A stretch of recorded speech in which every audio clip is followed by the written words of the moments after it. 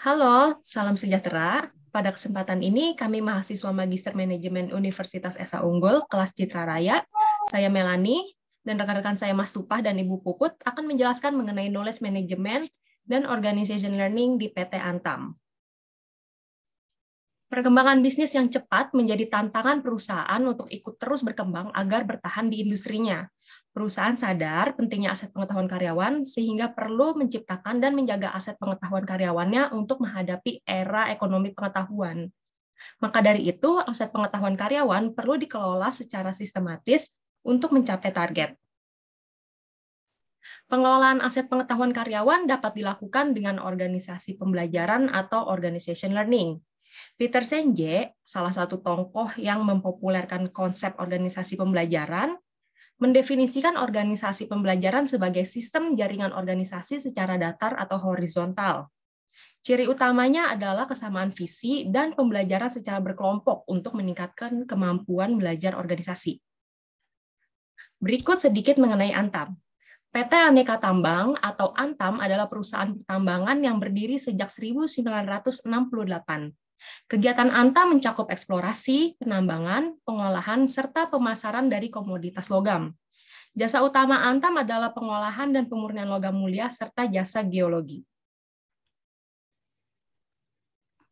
Menyadari pentingnya manajemen pengetahuan, Antam berkomitmen untuk menjadikan perusahaan berbasis pengetahuan.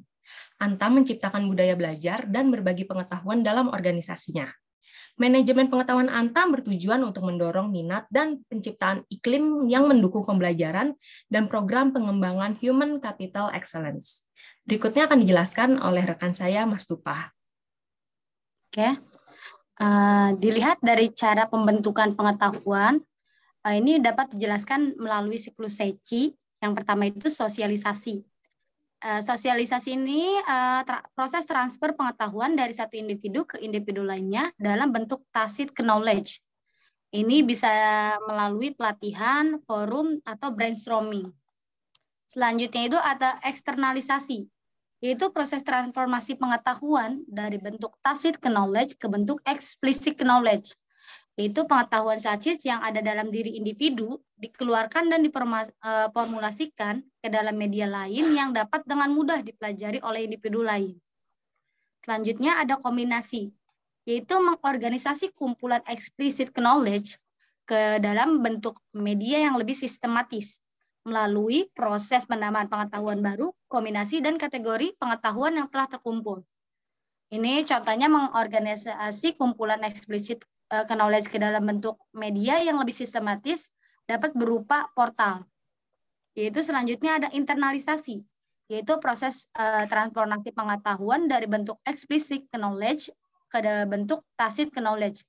Contohnya dalam proses belajar yang kemudian diikuti dengan learning by doing, yang lambat laun membentuk pengetahuan baru dalam diri individu.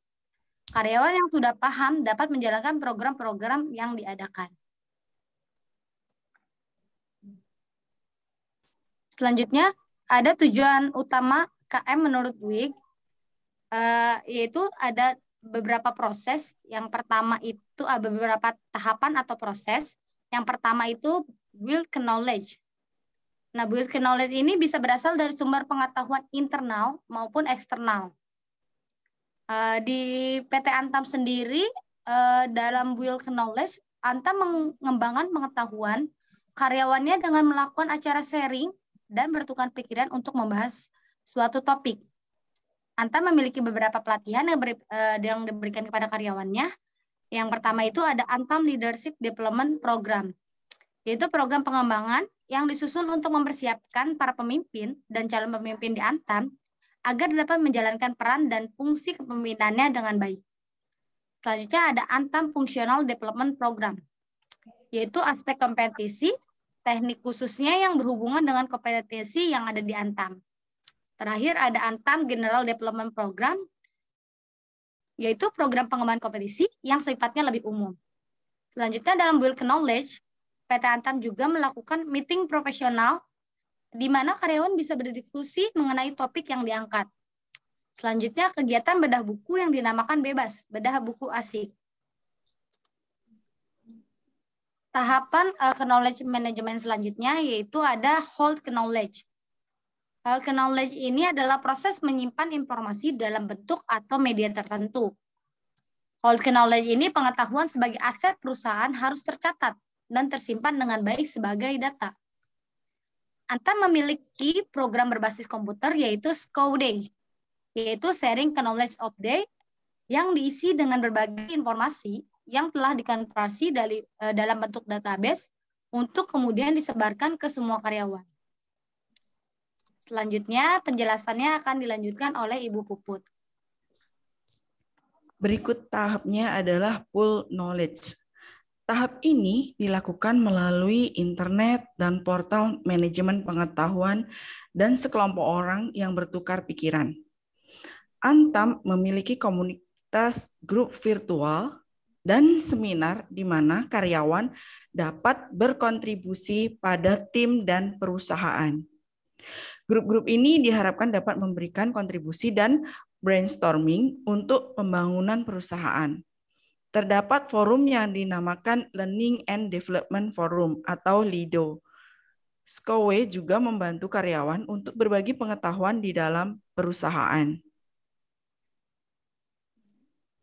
Berikutnya, news knowledge, konsep yang sudah tertanam dalam proses pekerjaan sehari-hari. Antam menerapkan pengetahuan sebagai iklim belajar sehari-hari di perusahaan. Iklim belajar tersebut melalui sikap positif dan semangat para pemimpin untuk berbagi ilmu kepada semua karyawan. Mereka dapat dengan mudah menjalankan pekerjaan, merasa nyaman tanpa masalah. Dari semua yang disampaikan di atas, dapat kami simpulkan sebagai berikut. Antam menerapkan organisasi yang fokus pada budaya berbagi, meningkatkan kesadaran karyawan untuk belajar lebih banyak, memberdayakan karyawan, dan memotivasi karyawan. Teknologi informasi membantu agar program manajemen pengetahuan di Antam dapat berjalan secara efektif dan efisien. Berikutnya, proses penciptaan pengetahuan dan transfer pengetahuan terbukti efektif dalam penerapan manajemen pengetahuan perusahaan. Demikian uh, yang kami sampaikan mengenai knowledge management dan organisasi learning. Semoga bermanfaat. Terima kasih.